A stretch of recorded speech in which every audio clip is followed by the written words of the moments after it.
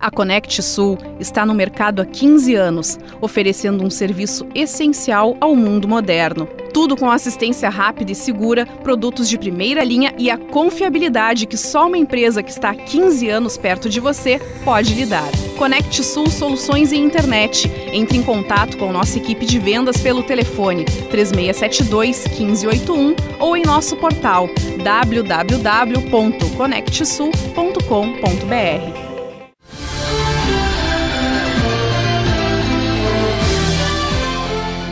A Polícia Rodoviária Federal divulgou na manhã desta segunda-feira, 14 de maio, o balanço da Operação Viagem Segura do Dia das Mães.